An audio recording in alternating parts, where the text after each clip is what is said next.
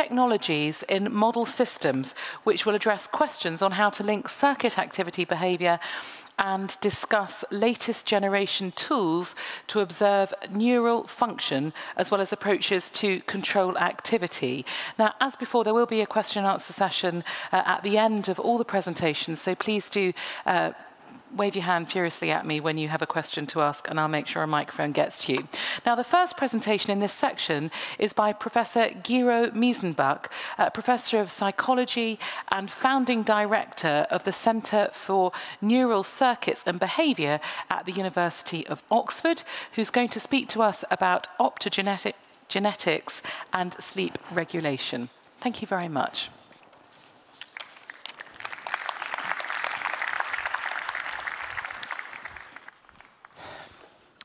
Thank you. Uh, it is um, really a privilege to be here. In fact, the privilege is so large that I decided to share it uh, and uh, brought along my doppelganger. This is Dr. Gero. Um, we have many more things in common than just the first name. He's also a scientist, um, a mad one in a Japanese comic called Dragon Balls. Um, he strives for world domination, just like I do. And um, if you look very carefully, you can see that his skull has been replaced with a transparent plexiglass dome so that his brain is open to optical control. And that's, of course, exactly what we do. We modify specific classes of neurons genetically so that these cells can respond to optical control signals. And these two ingredients, optics and genetics, have given the field its name. Before I explain how it works, let me just spend one minute to consider why being able to interfere with the function of the nervous system is a valuable thing to do. If you like puzzles, and if you're a neuroscientist, you'd better, you probably know that staring long and hard at a difficult problem rarely gives you the answer. It's typically much more productive to play with the problem, to try different solutions, to see whether you can find patterns that can fall into place. But historically, neuroscientists have mostly stared at the brain, not played with it. Part of the reason is the enormous complexity of the nervous system. Even the brains of the fruit flies that we study consist of a few hundred thousand nerve cells that come in many different flavors and have millions of connections between them. So, where to begin? But there's one organizing principle behind this seemingly impenetrable complexity, and that's the genetic programs that orchestrate the development of the nervous system. And one of the key concepts of optogenetics, and in fact of many technologies that are now used to study the function of the nervous system, is to use these genetic blueprints as the platform for our experimental interventions. So we use specific genetic markers to insert into the membranes of neurons that we have in this manner highlighted ion channels.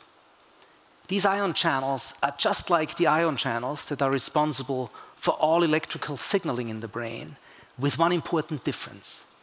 They are coupled to photoreceptors, so that when a photon of light strikes the receptor, it changes its shape. The shape change is transmitted to the pore of the channel. A small current flows, and the neuron fires an impulse. Now, what motivated the invention of optogenetic control was the idea that a technology like this would open three experimental doors that had previously been locked. The first of these doors is the identification of the neuronal causes of behavior. If playing back particular electrical activity patterns into the brain recreated perceptions, actions, emotions, memories, as we've just seen in, um, in David's talk, then of course we would um, be closer to understanding what normally underpins these aspects of our mental lives. The second locked door is the search for connections between neurons, which is a prerequisite for deciphering the wiring diagrams of the brain. Scanning a stimulating light beam across neural tissue is a more efficient way of doing this than painstaking searches with electrodes. And the third locked door, of course, is uh, the ability to test mechanistic hypotheses. If you had an idea how something worked, then interfering with the system would be the way to find out whether you are right or wrong. Now, as my illustration today, I've chosen one problem in which optogenetics has allowed us to open all three of these previously locked doors. And that problem is the control of sleep. Sleep is one of the great biological mysteries. Each night, we disconnect ourselves from the world for seven or eight hours, a state that leaves us vulnerable and unable to do what we need to do in order to propagate the species. Yet, despite these risks and costs, we still don't know what sleep is good for. It's widely thought that there's two mechanisms in the brain that determine whether we are asleep or awake. These two controllers are symbolized on this diagram by two different forms of oscillation.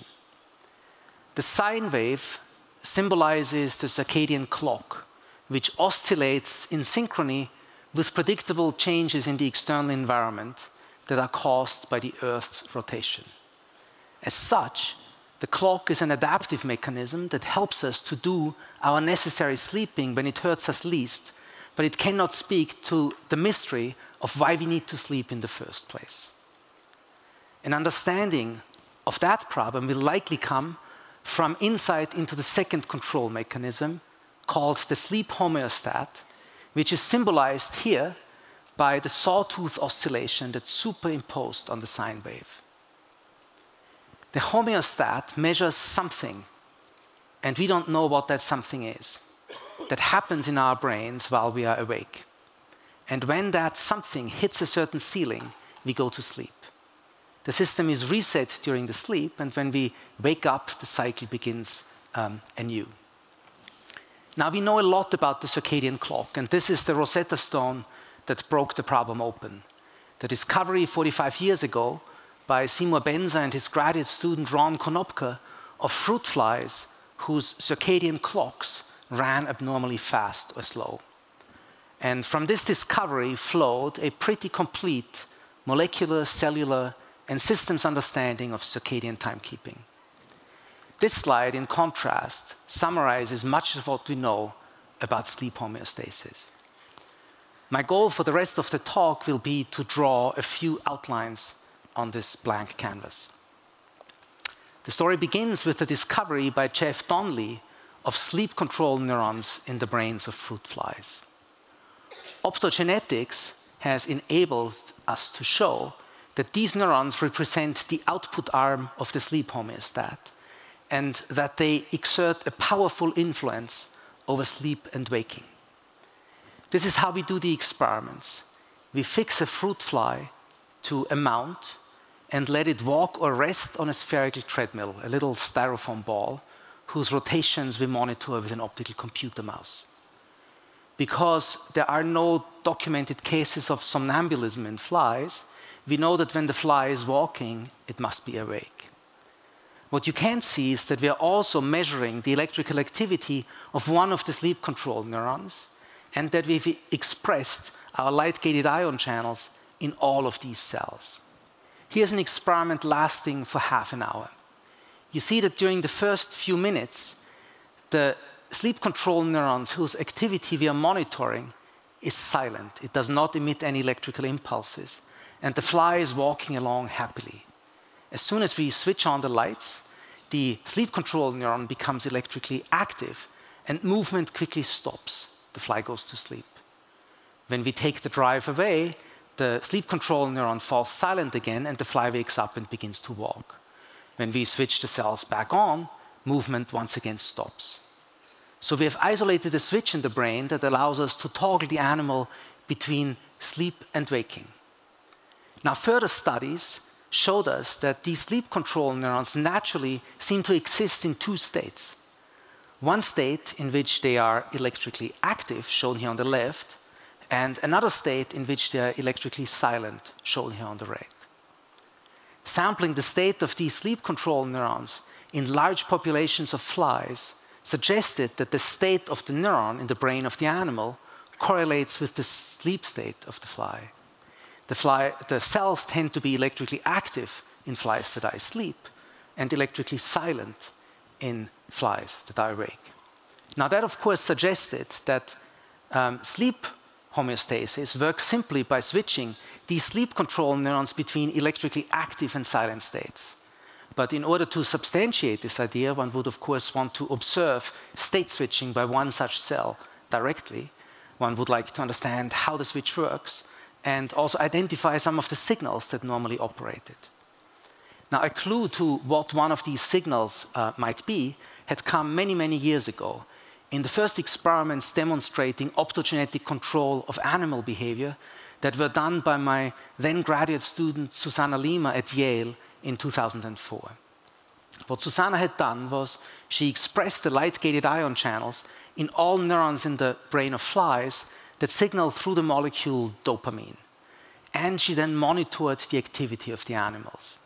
What you see here are the walking tracks of four flies. Each column represents the same animal before and after switching on the dopamine producing cells.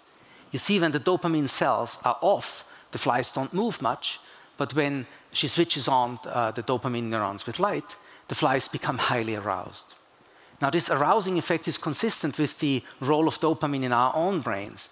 Most so called uppers, drugs that uh, act as stimulants, such as amphetamine or cocaine, do so by elevating synaptic um, dopamine levels. So, you would, of course, expect that an, uh, an arousal promoting substance, such as dopamine, would shut down the sleep promoting cells. And there's a potential dopamine delivery system in the brain just to do that. This is now a dopaminergic neuron that invades the brain region that's inhabited by the sleep control cells. In fact, um, the dopamine neurons shadow the sleep control cells so tightly that they seem tailor made just to control the activity of these cells. So the question is are the two cell types connected? And of course, optogenetic activation of the dopamine cells while we record the activity of the sleep control cells can give us the answer. Here's the answer. We start with a sleep control neuron in the electrically active state in a fly that's asleep. And then we begin to deliver dopamine by optogenetic stimulation. And you see that relatively quickly we can switch the sleep promoting cell off and wake the fly up. The fly begins to walk. If we stop the dopamine delivery, and uh, wait for a little while, often the cell flips back spontaneously to the electrically active state and the fly goes back to sleep. The ability to control the sleep switch at will has also given us the opportunity to understand how it works. And I'll just summarize in the form of a cartoon what we have discovered. What happens is that in electrically active sleep control cells, a molecule that we've discovered and termed Sandman is sequestered in the inside of the cells. When dopamine binds to its receptor, Sandman is translocated to the outer surface of the cells. The Sandman is a passive leak conductance that acts to short circuit the activity of the sleep promoting cells and shuts them down. So, what I've described then is a device that's in many ways similar to one that you're all familiar with because you have it on the wall of your living rooms. But instead of this device measuring temperature and switching on the heat when it's too cold, this device measures sleep need and puts you to sleep when your sleep need exceeds a certain limit. The billion dollar question in all of this, of course, is what is the equivalent of temperature in this system? What does the sleep homeostat respond to? I'd argue that if we knew the answer, we would be one very large step closer to unraveling the mystery of sleep. Before I conclude, let me take you back for just one moment into the stone age of optogenetics. Soon after we had started to develop the first optogenetic control technologies, I became aware that another scientist had seen the need for technologies like this. This scientist was Francis Crick, who, in a paper published in the millennial issue of the Philosophical Transactions of the Royal Society, wrote The next requirement for understanding the brain is to be able to turn the firing of one or more types of neuron on or off in a rapid manner in the behaving animal. The ideal signal would be light. this seems rather far-fetched, but it's conceivable that molecular biologists could engineer a particular cell type to be sensitive to light in this way. So when we had the first experiments that turned this far-fetched possibility into a reality, and these are these experiments, uh, what you're seeing here is a rat neuron grown in a dish that is, that is expressing a light-gated ion channel. And you see that the electrical activity of that neuron is quiet in the dark, but as soon as we switch on the lights, it responds with a volley of electrical impulses. So when we had these experiments, I sent Crick a preprint of our paper, and he responded in his characteristic style. If you read this wonderful book called The Eighth Day of Creation, which recounts the early history of molecular biology, you know that Francis Crick was a prolific letter writer who steered the development of the field through a vast correspondence that uh, always combined two stylistic hallmarks encouragement and constructive criticism. And that's exactly what I got. Crick wrote that he had read the paper I sent him with great interest and was excited to see that the system already worked, at least to some extent. However, he realized, as I did, that it still needed improvement and that this would take further work. Unfortunately, Crick did not live to hear how our experiments progressed, but I think it's fair to say that as a result not only of our continued efforts, but also those of many others who later joined the field, the way we neuroscientists go about our business has fundamentally changed. Thank you.